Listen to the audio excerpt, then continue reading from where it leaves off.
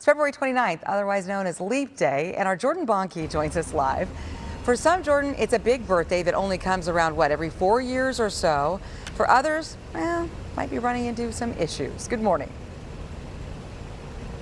Hey, a very good morning to you. Yes, there's perks at retailers across the valley today, and we'll get to those. There's plenty on our website as well as abc15.com. There's also a little bit of pain, perhaps for the HR department, because this added day every four years or so creates a little bit of a payroll scenario that's so unique. But why do we have a leap day? It's so that the help it's, it's to help the Earth catch up and make a full rotation around the sun a well actually guy comment here is that it's not just 365 days around that sun and also an additional five hours 48 minutes and 56 seconds to make that full rotation, according to NASA. So if you added that five hours each year instead of the leap day, the calendar would get off track and we'd be hanging stockings over chimneys in the Valley of the Sun in July. That would, you know, rest chestnuts on a driveway pavement.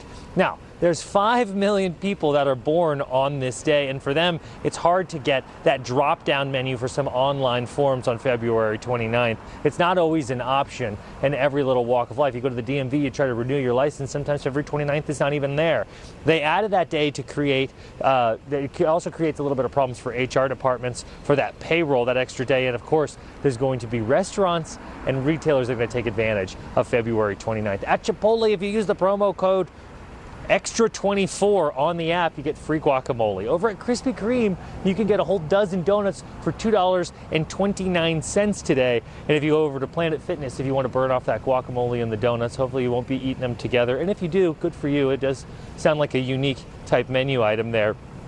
You can get a down payment for a gym membership for 29 cents through this entire month of February. You have only hours left here. We have more deals at abc15.com. Just go in and type leap into the search bar at that website there. The next leap year is in 2028.